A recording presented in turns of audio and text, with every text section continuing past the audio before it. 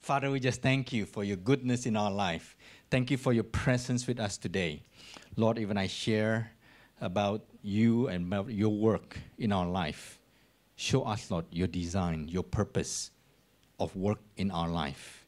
We ask, Lord, for your presence. We give you permission to lead guides and do any kind of renovation you need to do in our hearts.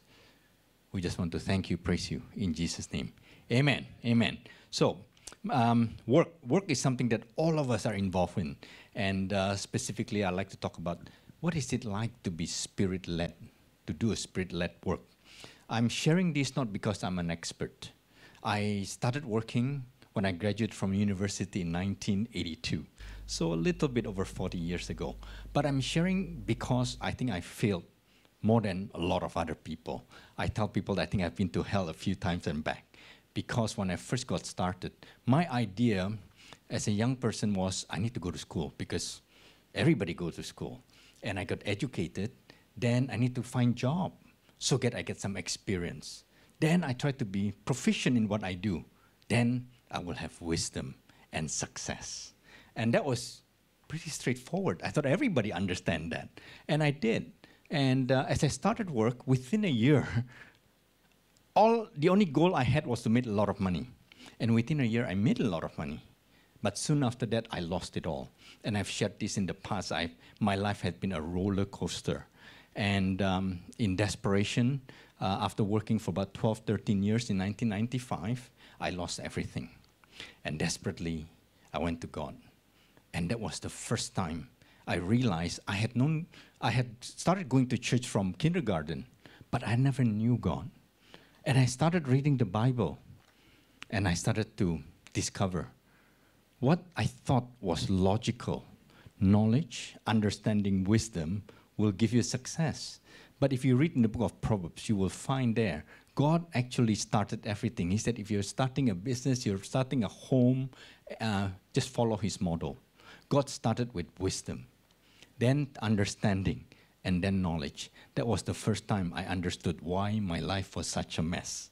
And um, so we're going to talk about work. But before we do that, there are two words I want us to spend a few moments and think about it. One is called gospel, the other one is called faith. What is your definition of the gospel? If you're like me or majority of Christian, if I ask you, have you heard the gospel? When was the last time you shared the gospel? Chances are your definition of the gospel is about Jesus coming to die for me, and his blood was shed to take away my sin, so that when I die, I will go to heaven. And that is not wrong, but it's only half right. You know that half right is equal to 100% wrong. You're going to get lost.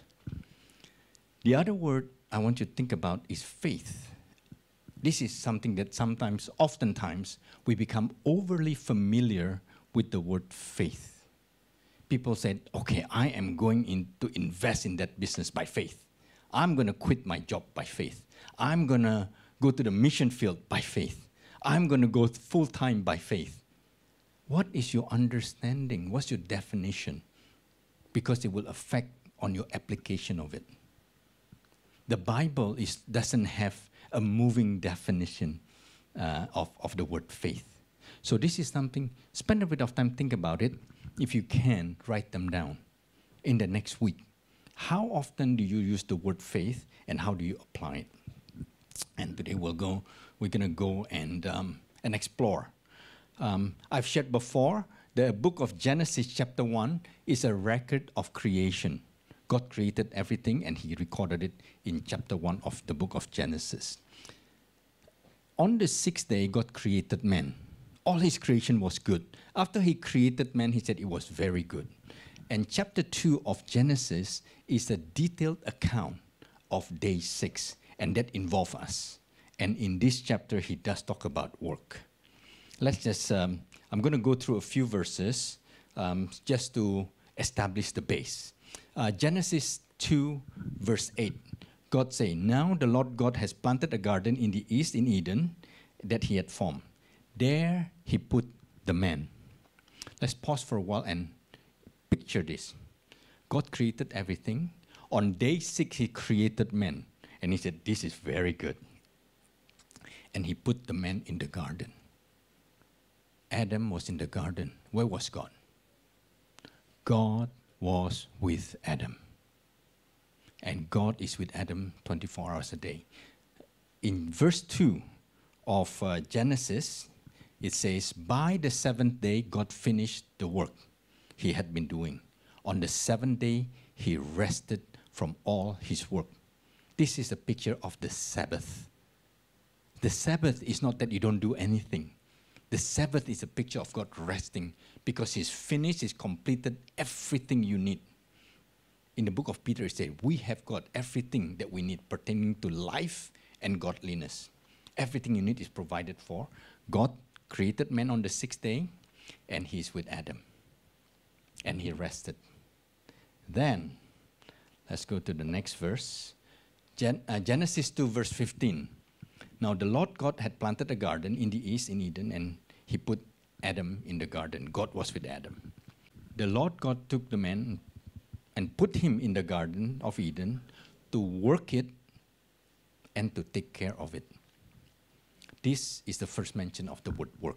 This is God's design and purpose of work. The word work in the Hebrew, it says, it means ergon. It gives the picture of a manager or a steward. When God created the garden, He didn't give the title deeds to Adam so he can buy and sell and make money in property trading. God say, work it, steward it, manage it. I'll be your partner. I am right here. I'm available to you 24 7. Then he actually told Adam, go and name all the animals. Do you think you will be able to name all the animals when it was the first time you see them. But God was with Adam. That's the picture you really need to catch.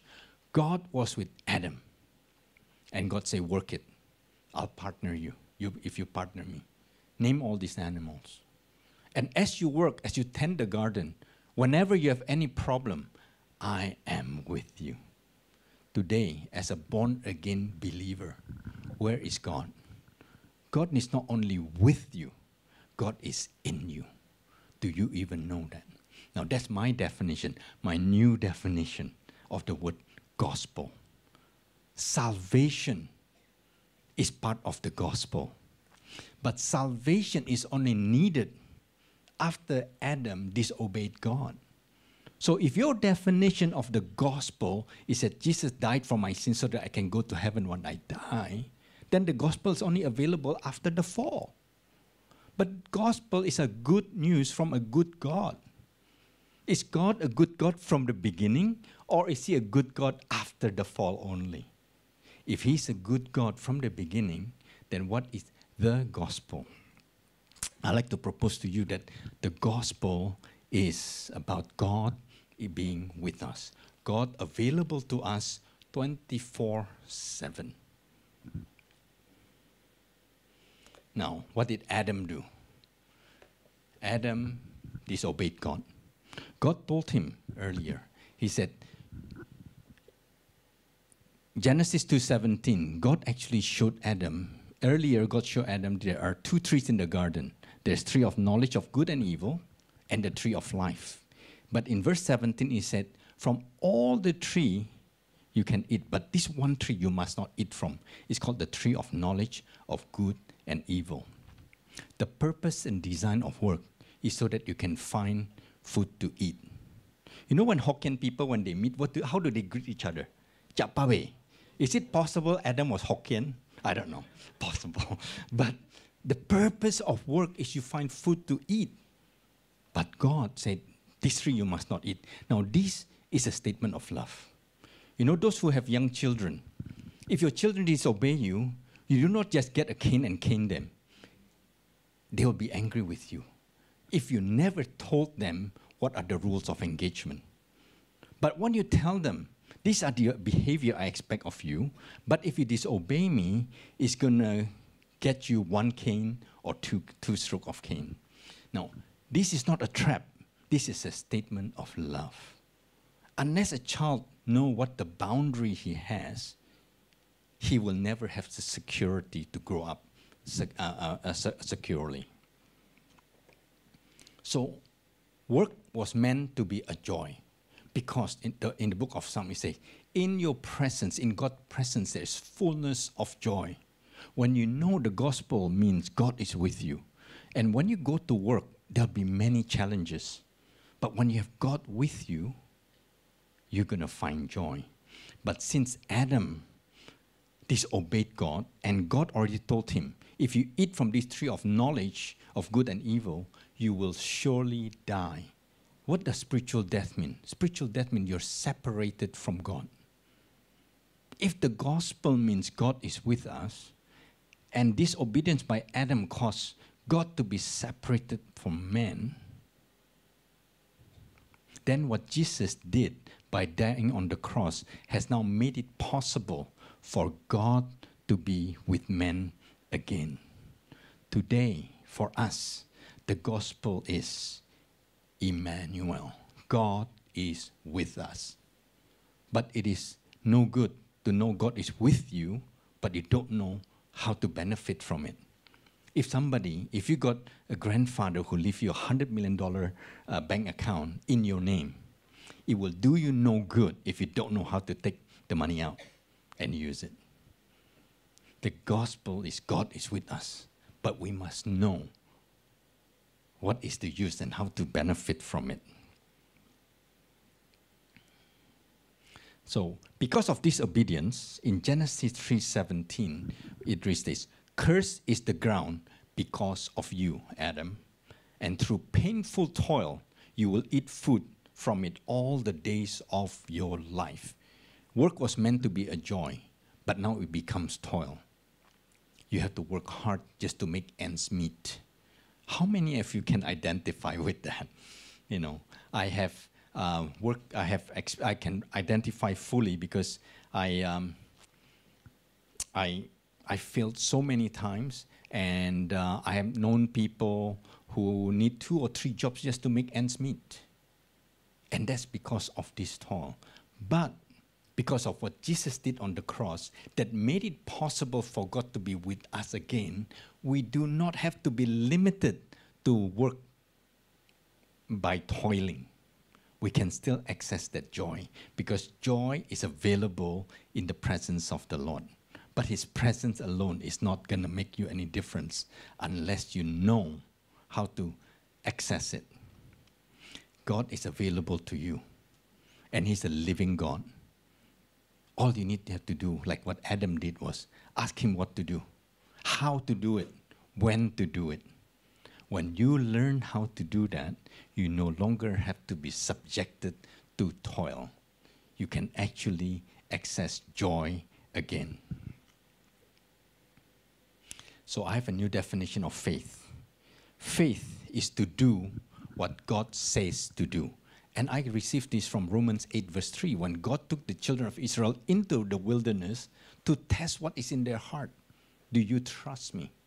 And God said to them, Man does not live on bread alone, but by every word that proceeds, present tense, from the mouth of God. He's got to be a living God for you to be able to, to hear His voice, to, to eat from every word that proceeds from His mouth. In the book of uh, Exodus 33, when Moses wanted to know from God, this is what he says. In Exodus 33, verse 13 to 14, he said, um, Moses told God, God, if you're pleased with me, teach me your ways so that I may know you and continue to find favor with you. And it's very interesting. If I go to Alan, Alan, show me the way. How do you do this Petra app? What do you think Adam will do? He will take out his phone and show me what to do step by step, correct? But when Moses went to God, God, show me your way. You know what he said? My presence will go with you and I will give you rest. Remember Genesis 2, verse 2? God completed all his work and he rested. He is with Adam, He's available to Adam 24 7. That is our Sabbath rest that is available to us. God rested. Show me your way, Lord. And God say, My presence is with you. What are your challenges in your work today? Do you know that you have uh, access to the solution 24 7?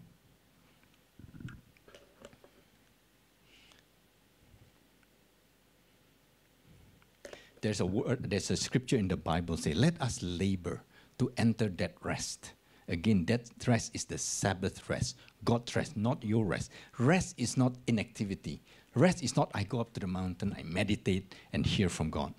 Rest is not about I go to the beach and have my pina colada with a small umbrella. Rest is not inactivity. Rest is Holy Spirit directed activity. How do we labor to enter that rest? The Bible says that rest, not a rest, but that rest. John 15, verse 7 says this If you remain in me, if you put your trust with me, I, I so love uh, Sister Violet sharing just now. You know, she actually, in, in all her sharing, did you catch that she was actually resting on God? She was running to God. What she had not shared is, what does she do in between? What does she do day to day? I wouldn't be surprised if she's a person of the word. I wouldn't be surprised she's the person who spent time with God. Knowingly, unknowingly, she was laboring to enter that rest. But often in a sharing like that, we only hear the end result. Ah, the next time you have trouble, oh, I just trust God, trust God, trust God. But the Bible says, let us labor to enter that rest. John 15, 7 says, if you remain in me, if you put your trust in me, keep on coming to me, and my word remain in you, ask whatever you wish, and it will be done to you. If you remain in me, and in original word, my word here, my Rhema word, my spoken word, my voice remain in you. Whatever you ask for, in Jesus' name, will be done unto you. Verse 8 says, This is to my Father's glory that you bear much fruit, showing yourself to be my disciples. Disciples is not something you make. Disciples come from people copying who you are because they are so impressed that they see the fruit of the Spirit in your life. How does the fruit of the Spirit grow in your life? By you putting your trust in God, going to God, going to God, going to God. God is with you, is the gospel. Faith is you do whatever He tells you. You keep going to God. Lord, I've got this problem. Lord, how come things is turning out that way? Lord, what do I do with this situation? If you go to Him, you wait upon Him, and He will tell you one word, and you do it. That is the gospel worked by faith.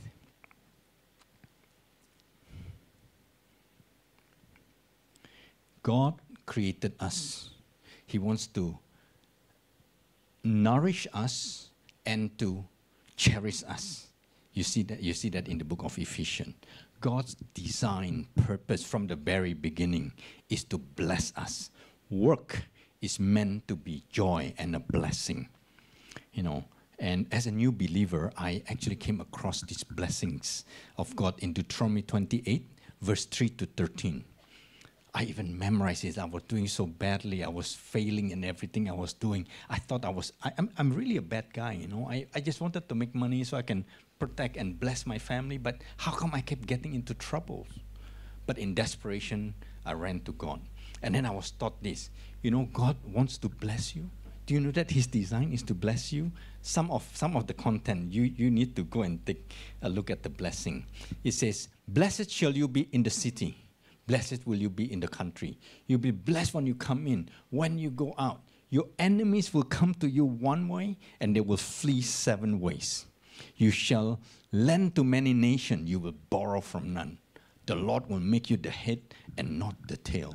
I read it, I read it, I memorized it. If you come to my home today, I have a floor mat that say, blessed coming in, blessed going out. I try to memorize it every day, but it did not become a reality in my life. I was failing in everything I do with all good intention there was. Do you know why? Very often, in the body of Christ. A lot of teaching and preaching out of good intention. People learn motivational uh, uh, uh, messages instead of the truth. This blessing, this is in the Bible. This is God's intention for us. This will be the fruit. But take a look at verse 1 and 2. What does it say? And this is what I should be memorizing on. It says, Blessed, no, wrong one. Now it shall come to pass if, a if mean it's a precondition, it's a prerequisite. You want to get all those blessings, but there's something that must happen first. He said, Now it shall come to pass if you diligent obey the voice of the Lord your God and observe carefully all his commandments which I command you today. And verse 2 saying, all these blessings in verse 3 to 13, all these blessings not only come upon you, it will overtake you. It will be waiting for you. Do you believe that? But what is the precondition? Because you obey the voice of the Lord your God. Instead of spending time memorizing the blessing, I should be finding out how do I hear the voice of God. Jesus saying, My sheep hear my voice. Man shall not live on bread alone, but by every word that proceeds from the mouth of God. When I found out about this, I spent time. So, what I'm sharing here today is something that I've been working on for the last 25 years. I have failed, I, I, I really mean it. I have failed more than a lot of people. I've been to hell a few times and back. But I can tell you, these words are the truth. God is a good God, and He's a good God from the beginning. He was not, he's not only a good God after the fall. The gospel is about God is with you and He's available to you 24 7. But do you know how to access His presence? What is the benefit of having His presence?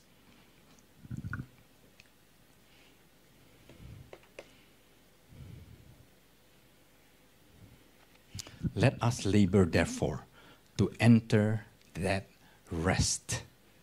His presence is available to you. And Mark 12 29, if you heard my messages before, it should not be new to you. That Jesus, when asked, which one is the most important commandment? And Jesus said, the most important one is this Hear, O Israel. Shema, O Israel. The Lord God is our God, then the, the Lord is one. There's no other one.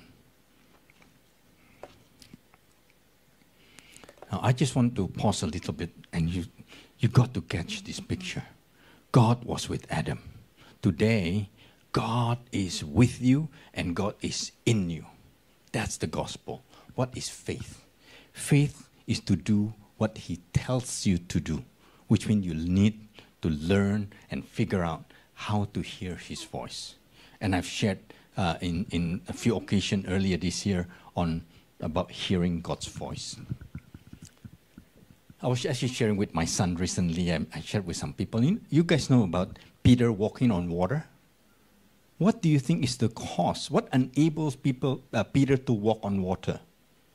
You know, for many years, I tried to figure it out. And one of the things that I, I come to believe, Peter walked on water because he fixed his eyes on Jesus. Because when he turned his eyes to the storm, he started to sink. So I thought the reason Peter could on water because he fixed his eyes on Jesus. If that is the answer, then it really depends on Peter's faith, Peter's ability to focus. Then the focus is on Peter. But what if the reason he could walk on water because he heard Jesus said, "Come." Faith is about doing what you hear God tells you to do. Amen.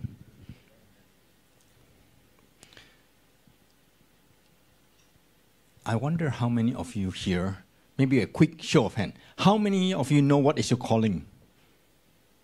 Wow, not bad. Five, six, not bad. What is the difference between a calling and a gift? In Mark 117, Jesus say, Follow me, I will make you fishers of men.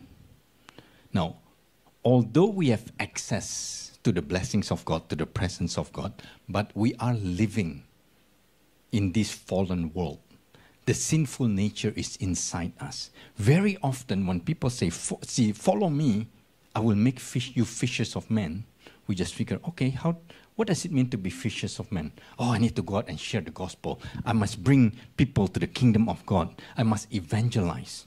So we focus on how to become fishers of men. It becomes a work of the flesh, which can be done and achieved without depending on Jesus. If Peter walked on water depending on his ability to focus, it can be done without depending on Jesus. You can become a very successful fishers of men without depending on Jesus. But you cannot become a follower of Jesus without depending on Jesus. So your definition, understanding and application of gospel and faith will determine the outcome, will determine your walk with the Lord. In the book of uh, Corinthians, chap, uh, uh, 1 Corinthians chapter 14, it says this Pursue love, desire gifts, especially the gifts of prophecy. This is where I want to differentiate between calling and gifts. All of us have the same calling we are called to follow Jesus. You cannot follow Jesus without depending on Jesus. But many make mistakes. We all have different gifts, and we mistake our gifting, our talent as our calling. I am an extrovert. I like meeting people. When sometimes I'm in the office, I, I feel my battery is drained out. I will call up a few people. I will have coffee. I will have lunch. I am all charged up again. So in my job in banking actually involved selling. So I used to think my calling is to be in the marketplace, to be in sales. But actually that is not my calling. That is my giftings. No. But in 1 Corinthians 14, God saying, pursue love. What is love? Love, joy, peace, kindness, goodness, faithfulness. Those are all fruit of the Spirit. Singular. But desire gifts miracles, healing, uh, prophecy. Those are all gifts. But many believers unknowingly chase after giftings. You know why? Because gifts are more spectacular. Can you imagine if I lay hands on people and they get healed? I lay a hand on the dead and they, start, they, they wake up. Whatever I say come true. Many of us pursue that. But God say pursue love. Because fruit requires you to work with Jesus. To follow Him, you need to depend on Him. Fruit is only produced by doing what He tells you to do.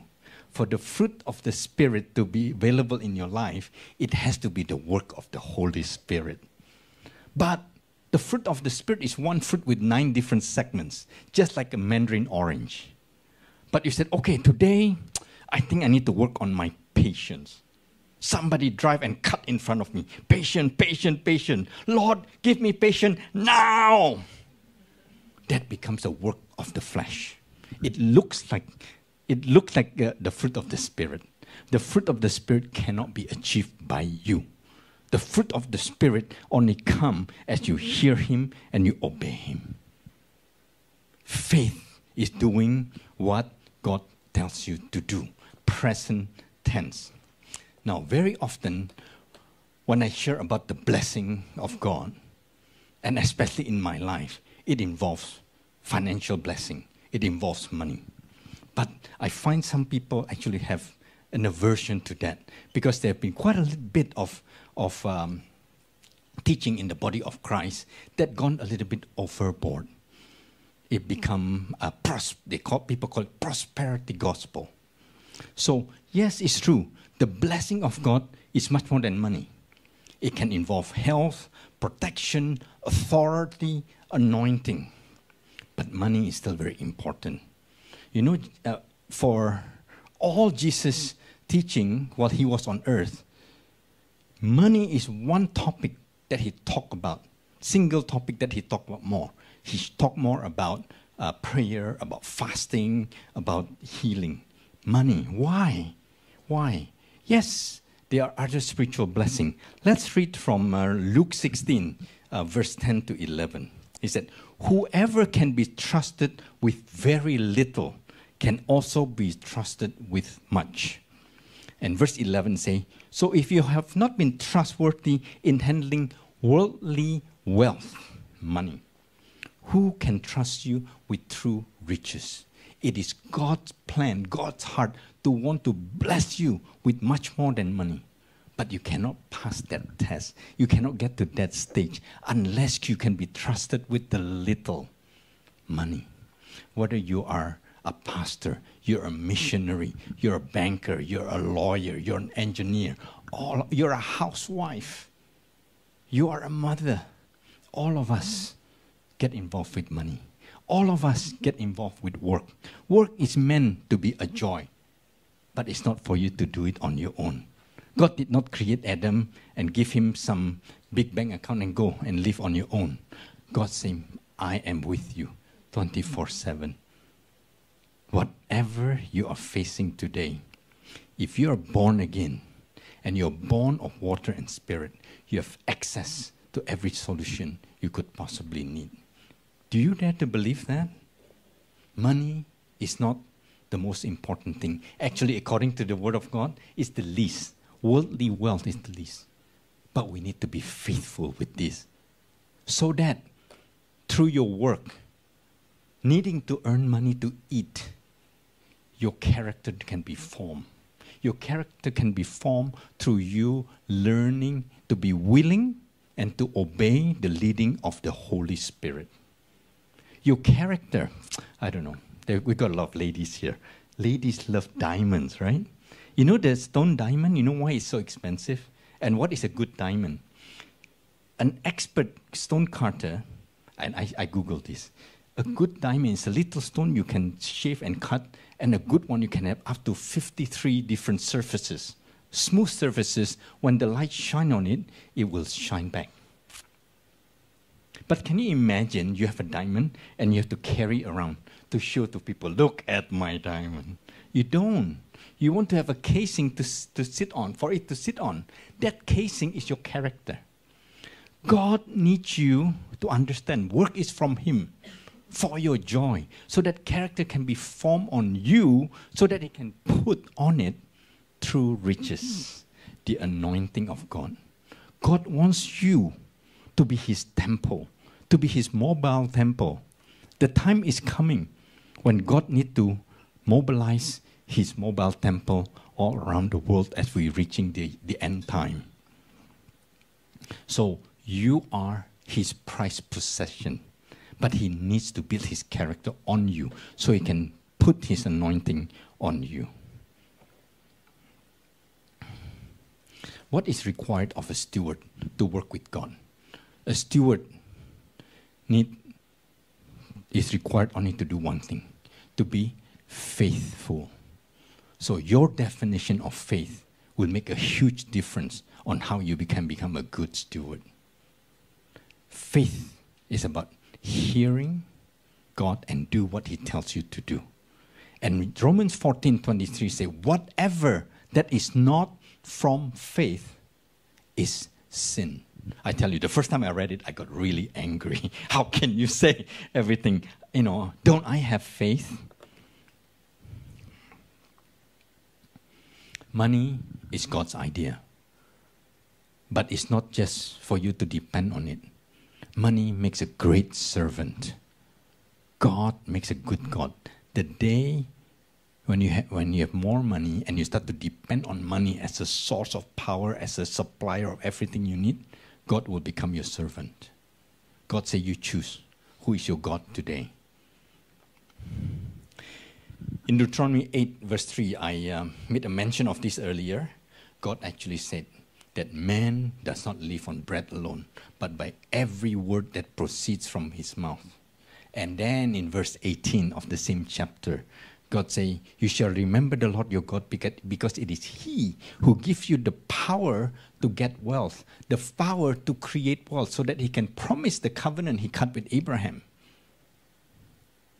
That power to create wealth is to test you, to see to, if your character is ready, if you come to maturity where He can put His anointing on you, because you are His temple, His mobile temple the time is coming. The time is very near when God needs to mobilize his body.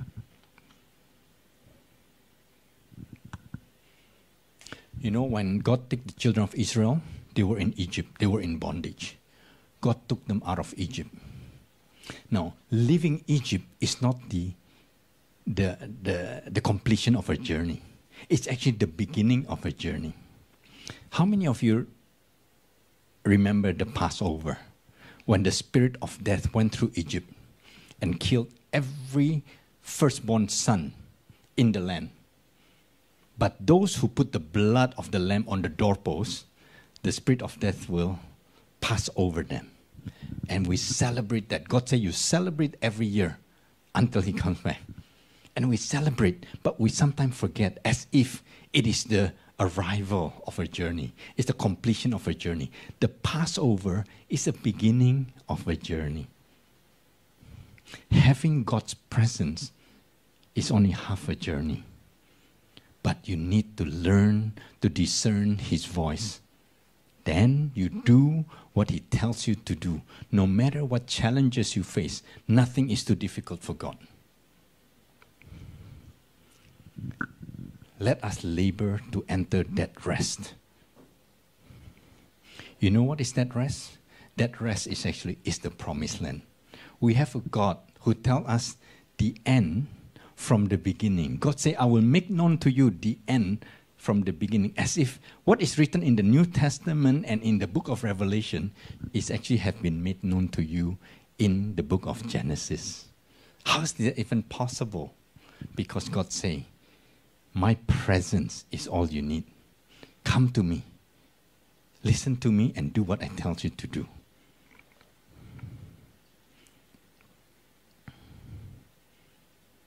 The rest actually is the promised land. God is taking us out of Egypt to take us into the promised land. The promised land is not something far, far away in the future. The promised land is in your heart. Is your character ready? So when you face challenges in your life, look forward to it. Lord, do what you want to do in my heart. Teach me how to hear your voice. Give me the courage, boldness to do what I just heard you tell me to do.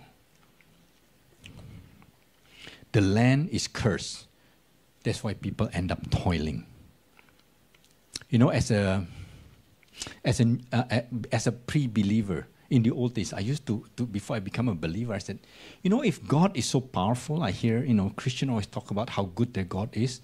How can it be possible when there's so much killing, so much war going on?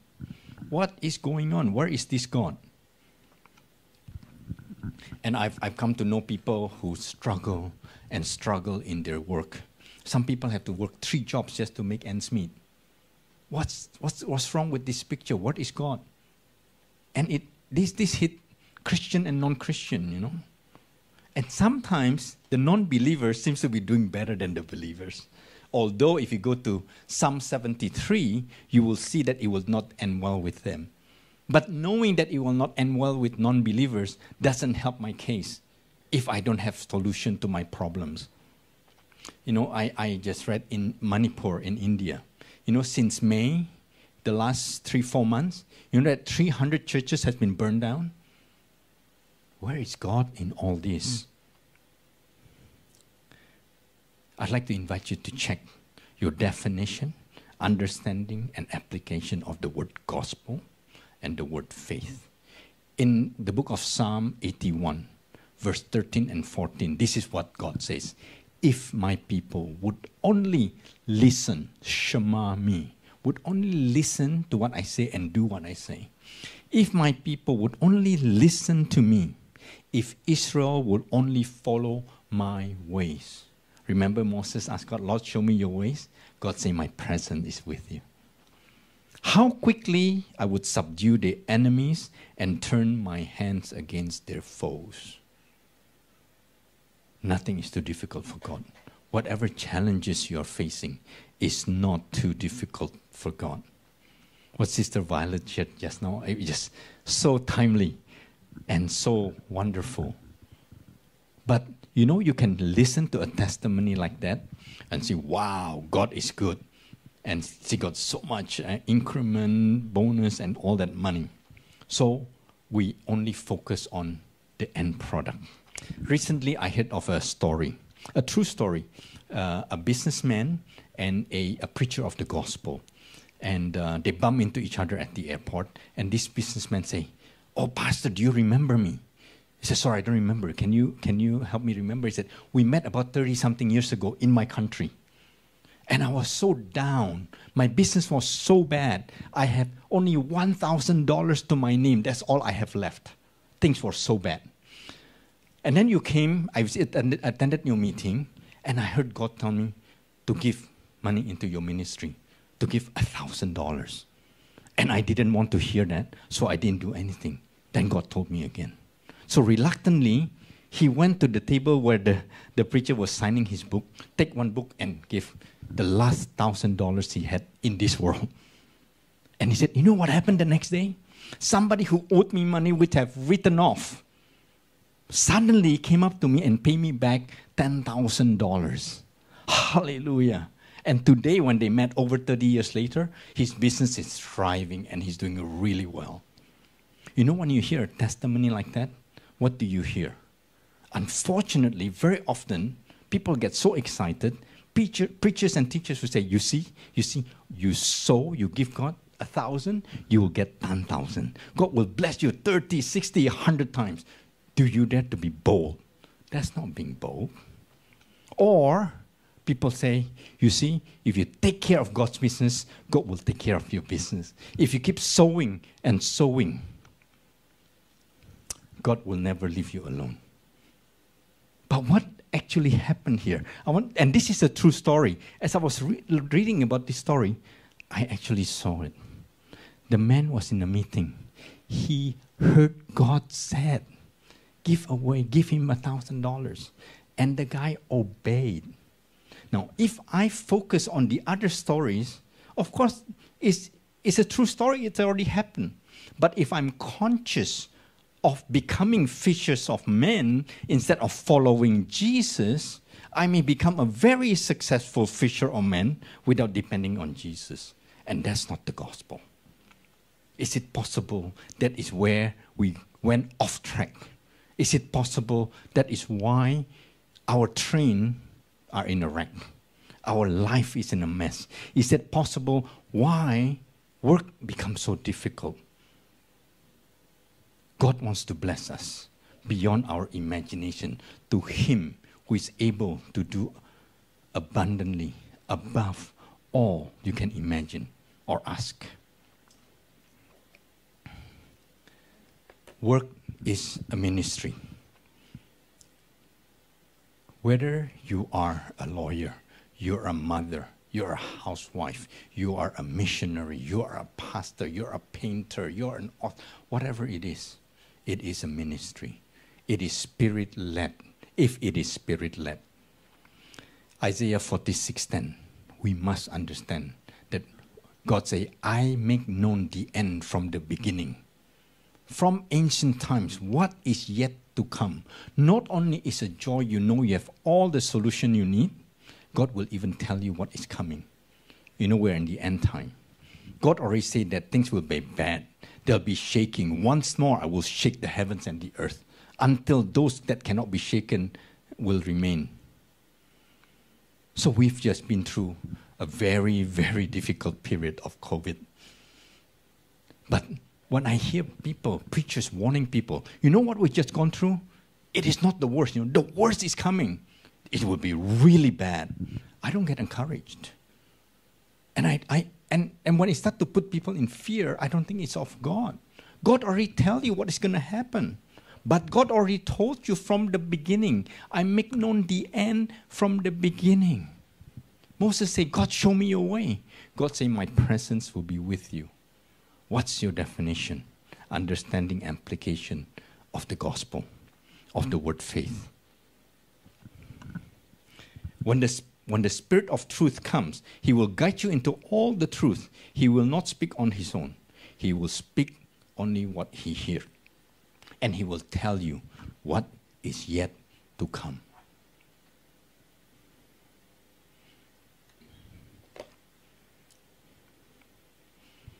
So, in wrap up, work is a ministry if it's led by the Holy Spirit. We all have the same calling, which is to follow Jesus. But we all have different giftings. Do not mix up your talent, your giftings with your calling. You follow Jesus. He will show you, you will figure out what is your what is your what is your giftings. And somehow you you move you can move very easily. The danger of mixing up your calling with your gifting is because you've been gifting, gifted and wired and created by God with that talents, you can actually do very well depending on yourself. But you may not be following God. Gifts are given to you free, no charge. But it comes with a responsibility. What is that responsibility? To steward it. And to be a steward, one thing is required of you to be faithful. Faith defined as doing what you hear God tells you to do. And with that, the fruit of the Spirit will come through your life. It is to my Father's glory that you bear much fruit. You know what's the byproduct of that? You become His disciples. And wherever you go, when people start to see Jesus through you, they want to be like you. That's how you make disciples. So, work is a good thing. But when you try to perform your work not depending on God, it becomes the work of the flesh.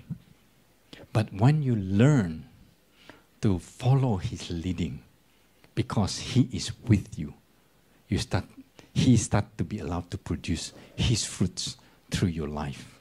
Then suddenly you find yourself back in the joy of the Lord. Let us pray. Father, we just thank you. Thank you for your goodness. Thank you for your good news. Thank you. Thank you, Jesus, for dying on the cross to make it possible for God to be with us again, to even live with us, lead, to lead us and guide us. So that, Lord, even as we go through this life, in our work, our character may be formed by you. We will start to mature, to be matured by you, so that you can flow freely through our lives. We thank you and we praise you. In Jesus' name, amen.